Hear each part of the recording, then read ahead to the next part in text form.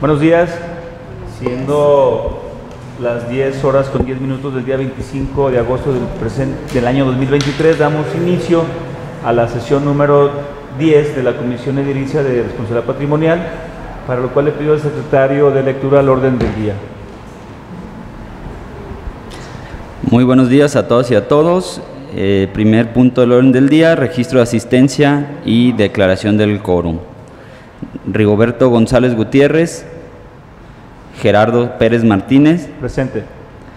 Óscar Ornelas Martín, Karina González Pérez, Presente.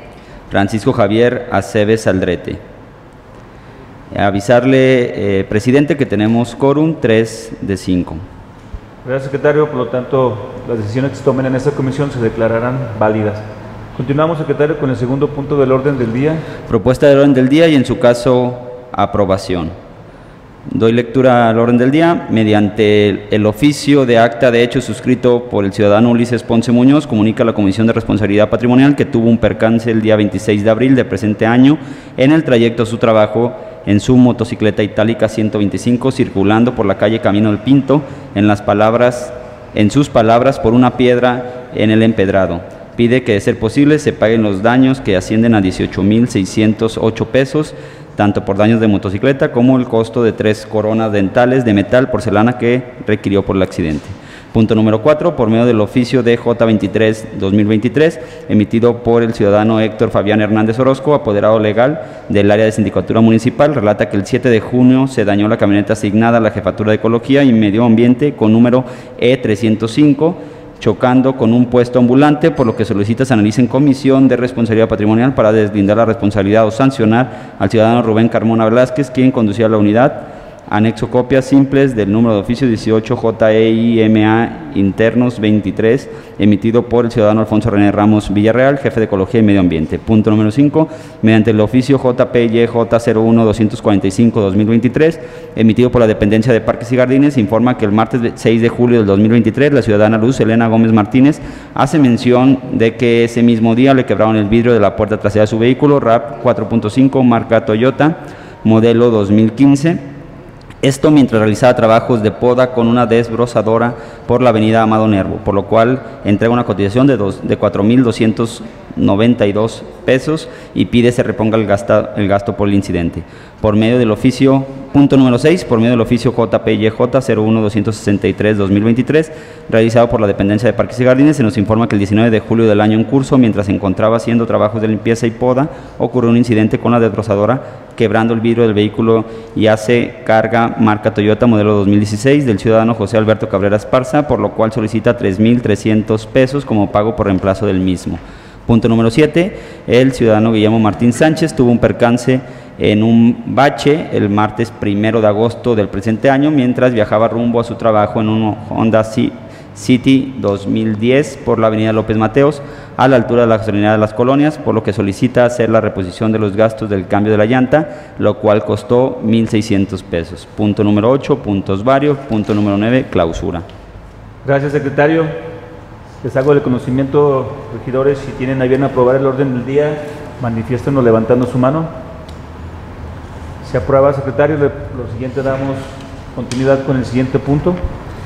El punto número 3, mediante el oficio de acta de hecho suscrito por el ciudadano Ulises Ponce Muñoz, comunica a la Comisión de Responsabilidades Patrimonial que tuvo un percance el día 26 de abril del presente año con la trayectoria en el trayecto a su trabajo en su motocicleta itálica 125 circulando por la calle Camino El Pinto, que en sus palabras por una piedra en el empedrado pide que de ser posible se paguen los daños que ascienden a 18.608, tanto por daños de la motocicleta como el costo de tres coronas dentales de metal porcelana que requirió por el accidente. Gracias, secretario. Bien, este, en su poder obran el oficio y los documentos con los que se presentó a, este, a esta comisión y de una vez analizados los documentos observamos que hace falta la licencia de conducir de motocicleta, de motocicleta, perdón. Por lo tanto, dejaremos previo a resolver este asunto, le solicitaremos al señor Ulises Ponce Muñoz nos haga llegar o nos diga si cuenta con la licencia para poder conducir motocicletas. Por lo tanto, este asunto queda pendiente para la próxima sesión. No sé si qué les parezca, Regidores. De acuerdo. ¿Sí?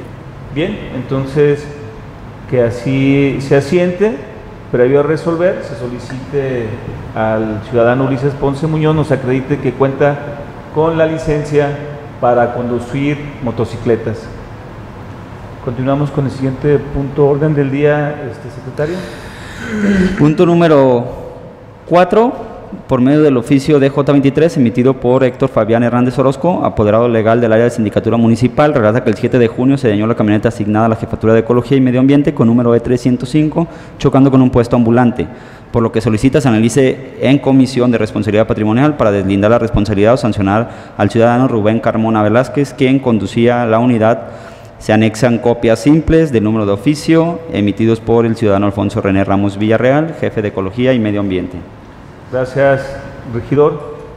Igual de esta manera, una vez observando la documentación que se nos hizo llegar, no contamos con el dictamen este, pericial sobre los daños del vehículo, eh, por lo tanto también no tenemos este, con certeza a cuánto ascienden, por lo tanto eh, solicito que se mande nuevamente con el Alfonso René Ramos Villarreal, jefe de Ecología, para que lleve el vehículo al taller municipal y que determine la cuantificación de los daños para que esta comisión sea, si puede sancionar o en su momento eh, deslindar al trabajador de la responsabilidad de hacer un pago. Por lo tanto, igual, previo a resolver que se mande el vehículo al taller municipal para que el encargado del mismo emita un dictamen de los daños a que ascienden estos daños.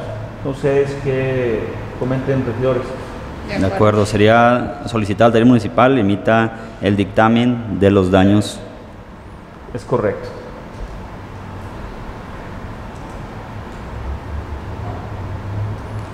Continuando con el orden del día, secretario, le doy, a, solicito que dé continuidad con el orden del día, punto número 5.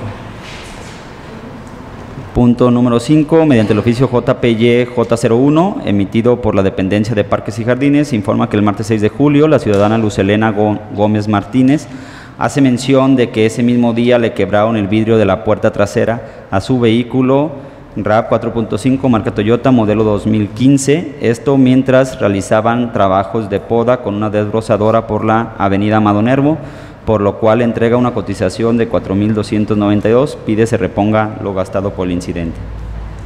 Bien, como lo comenta el secretario, obramos con lo del oficio JPI J-01 diagonal 245-223, mediante cual la señora o la señorita Luz Elena Gómez Martínez solicita que se le cubra la reparación del daño por este, haber sufrido por parte de, de personal de ecología, parques y jardines, perdón, daños a su vehículo.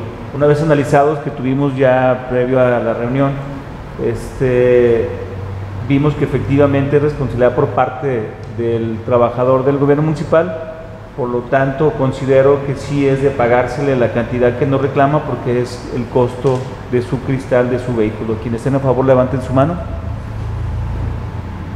Bien, se aprueba el punto número 5, por lo tanto se le autoriza a pagar a la ciudadana Luz Elena Gómez Martínez la cantidad de 4.292 pesos por la quebrada de su vidrio de la puerta trasera de su vehículo Raba 4.5 marca Toyota modelo 2015. Continuamos con el orden del día, secretario, que es el punto número 6. Punto número 6, por medio del oficio JPY-01-263-2023, realizado por la Dependencia de Parques y Jardines, se nos informa que el 19 de julio del año en curso, mientras se encontraban haciendo trabajos de limpieza y poda, ocurrió un incidente con la desbrozadora quebrando el vidrio del vehículo y hace carga marca Toyota modelo 2006 del ciudadano José Alberto Cabrera Esparza, para lo cual solicita 3.300 pesos como pago por el reemplazo del mismo. Gracias, secretario. De igual manera que el punto anterior se presentó o presentó un oficio José Alberto Cabrera Esparza donde manifiesta que personal de Parques y Jardines, haciendo su labor de limpieza, le quebró el vidrio de su vehículo y analizado también previo a la reunión esta situación, yo considero que es conveniente el pagarle estos 3.300 pesos ya que efectivamente el empleado de, del ayuntamiento le causó los daños Regidores, es de preguntarles a ustedes si tienen algún comentario o algo que manifestar. No. Si tienen a bien entonces aprobar el pago de 3.300 pesos al ciudadano José Alberto Cabrera Esparza por eh, la quebrada de su vidrio por parte del empleado de Parques y Jardines, manifiestan levantando su mano. Se aprueba por, por los presentes. Y continuamos con el siguiente orden del día, que es el punto número 7, secretario.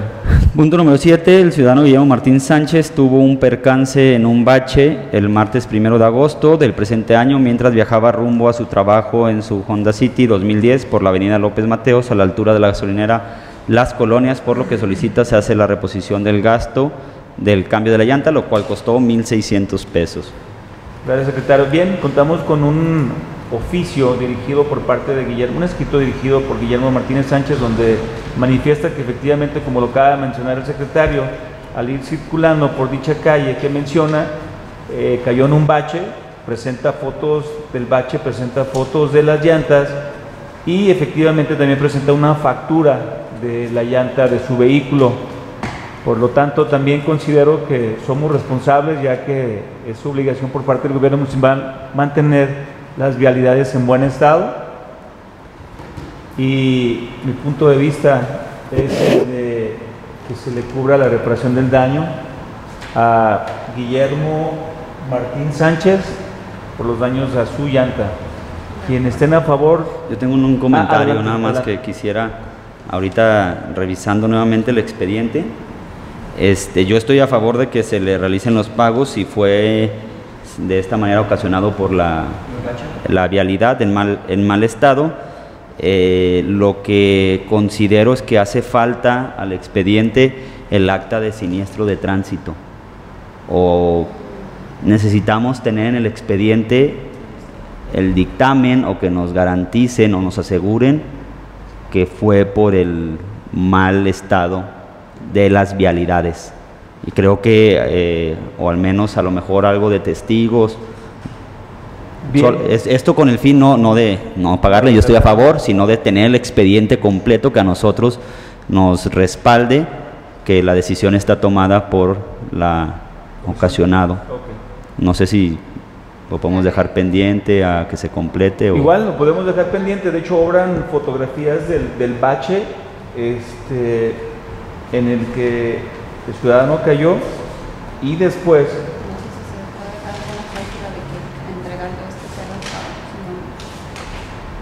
Bien, eh, efectivamente, regidora, este, como lo menciona, previo a hacer el pago, o sea, se autoriza el pago siempre y cuando haga llegar a la comisión el acta de siniestro de tránsito de la Dirección de, este, Policía Vial en el que conste que tuvo ese accidente. El problema de esto es que no creo que los oficiales de vialidad este, vayan a hacer un trámite retroactivo.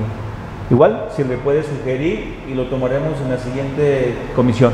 Se deja pendiente de igual manera este trámite de, de pago para el ciudadano Guillermo Martín Sánchez para que haga las gestiones necesarias a ver si puede conseguir el acta de siniestro de tránsito en el cual este, acredite que efectivamente ese día eh, se le tronó su llanta por culpa del bache en dicha vialidad.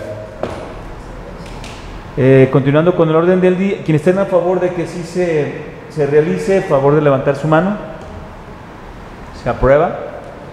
Continuamos con el siguiente orden del día, que es el punto número 8, secretario. Punto número 8, puntos varios. Les pregunto, regidores, si alguien tiene un punto vario. Ninguno. Este, Punto número siguiente, este, secretario. Clausura. Bien, siendo las 10 horas con 24 minutos del día viernes 25 de agosto del año 2023, damos por concluida la sesión número 10 de la Comisión Edilicia de Responsabilidad Patrimonial. Muchas gracias.